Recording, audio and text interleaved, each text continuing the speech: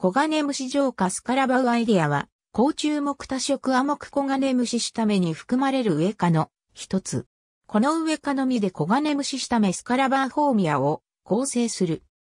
触覚は通常10節からなり、その先端数節の各節が内側もしくは前方に突出して線状やブラシ状を呈するのが特徴である。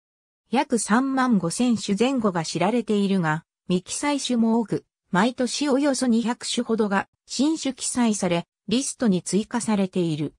しかし近年の研究では、この植科は、おそらく単系統群ではなく、羽隠し状化のうちの一部を集めたものである、可能性も示唆されている。したがってこの植科の構成などは、見直しの途上にあり、下記のカリストは暫定的なもので、近い将来には時代遅れのものになる可能性がある。アメリカンビートルズによれば、以下のトガが含まれる。ブレッド・シーラ・トクリフ、A チェックリスト・オブ・ザ・スカラバウアイディア・オブ・パナマ。ズータキサ、148、PDF ハットロス・エイチ・アーネット、ジュニア、アンド・マイケル・シー・トーマス、アメリカン・ビートルズ、CRC プレス、リトリーブド・フロム。ありがとうございます。